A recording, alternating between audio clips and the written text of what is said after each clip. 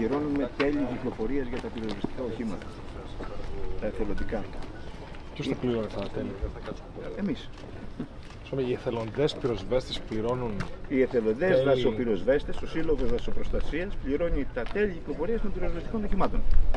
Είμαστε η μοναδική Ορίστε χώρα και στην εθελοντές και πληρώνουν τα από πάνω. κανονικά και με τον νόμο. Δηλαδή, η οφειλή μας στην Δηλαδή, εφορία πόσο- τώρα έφτασε τα 100 χιλιάρικα από τα τέλη κυκλοφορίας.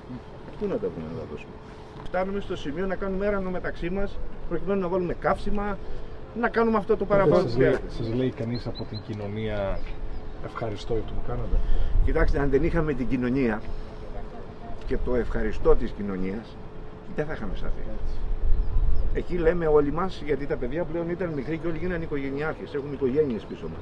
Και λέμε όλοι μας, από το ειστέρημά μας θα βάλουμε και αυτό που δεν περισσεύει μόνο και μόνο γιατί έρχεται ο παππούς, η γιαγιά και μας λέει μπράβο παιδιά. Αυτή είναι η πληρωμή μας. Πάντως, Γιώργο, να, έλα, πω, Σπύρο. να πω ότι όταν το είπαμε, Δεν είναι. Έχει τον αρχηγό τη αξιωματική αντιπολίτευση που σου λέει ευχαριστώ.